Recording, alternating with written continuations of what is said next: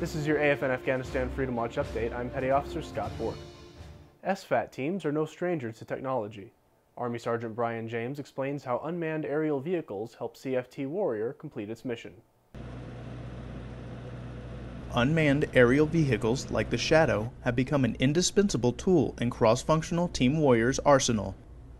UAV maintainers mount the Shadow to its pneumatic launcher and perform pre-flight checks before mission.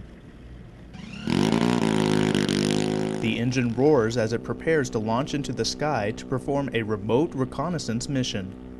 One of CFT Warrior's UAV maintainers believes this technology helps the ANSF in their day-to-day missions. I just thought it was a, a new way of the future. Everybody said that they were going to go unmanned, and I do believe that they could use the information very wisely to their advantage. I definitely think it'll be a, a very helpful aspect of day-to-day operations for them.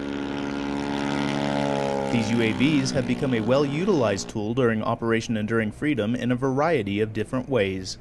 UAV operators feel that they have an important role in CFT Warrior's mission. It, it's nice to know that you're in charge and you're uh, and you're capable of handling such a high-tech piece of equipment that just helps out in so many ways. It's one of the best experiences I've had. Very rewarding. Only time will tell where technology in the U.S. Army will go next, but it seems that for CFT Warrior, the future is now. Reporting from Ghazni Province, I'm Army Sergeant Bryan James. And that's your AFN Afghanistan Freedom Watch update. I'm Petty Officer Scott Bourque. Thanks for watching.